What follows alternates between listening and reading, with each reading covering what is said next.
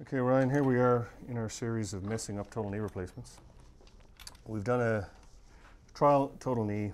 We're at we're at a demo total knee. We're at the trial phase.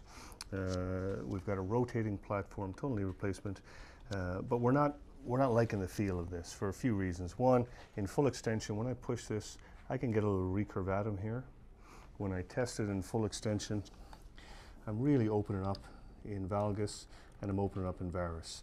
Uh, uh, what makes me happy here is that I'm opening up symmetrically, so I don't think our, our, our, gap is asymmetric, but that amount of opening is certainly abnormal and not appropriate.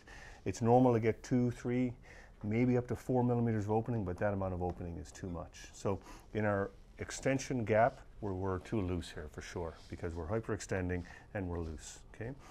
To determine what to do with that, it depends on what's happening with the flexion gap, and then we can have a look is it symmetric or asymmetric. And when I take that through a range of motion, in deep flexion, again, my poly is not lined up. I'm very loose in flexion, okay?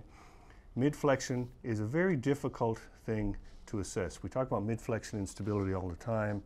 Um, the problem is, is that it's hard to get stability on the femoral side to test those ligaments in, in mid-flexion. Luckily with this model, we've got some tricks up our sleeve where we can actually have a look at that mid-flexion instability. Okay, so what we've done here is something that you could never do in the main operating room.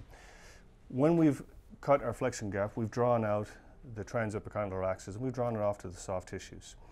We've put a rod in here just so we can stabilize that distal femur and we can really test flexion, uh, extension, valgus, varus through that arc of motion. So our rod mimics the transepicondylar axis. We're going to put our femoral component back on. We're going to take out our knee.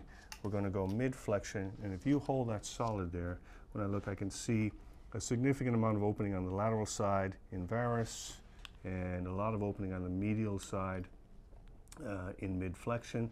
If we take that out into extension, again, we've talked about this is loose. It's easier to do in in, in extension, the femur can be stabilized, but in full flexion, again, we can take it out.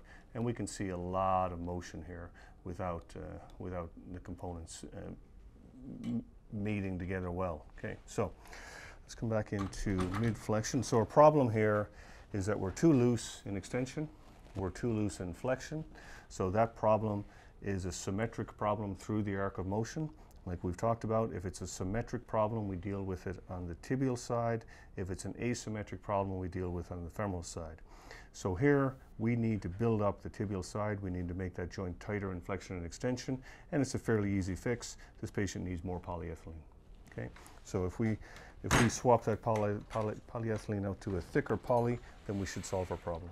That's a pretty big gap, so I'm going to jump that up to a 10. Feels better. Okay. So we've added an extra five millimeters of polyethylene here to fix our flexion and extension gap problem. So just let me take it free for a second. So I'm going to take it out in extension first. We're out in the full extension, and that still may be a little tight. That may be, we may have overdone it because we still have a flexion contracture here. It's still feeling a little tight, but it's certainly fixed our problem, but may have overcorrected it. Okay, in full extension, I'm seeing a little bit of opening, not much. So I think we're, we're probably two or maybe two millimeters too tight in extension. And as I take that through flexion, same thing, we're mating way far better down here.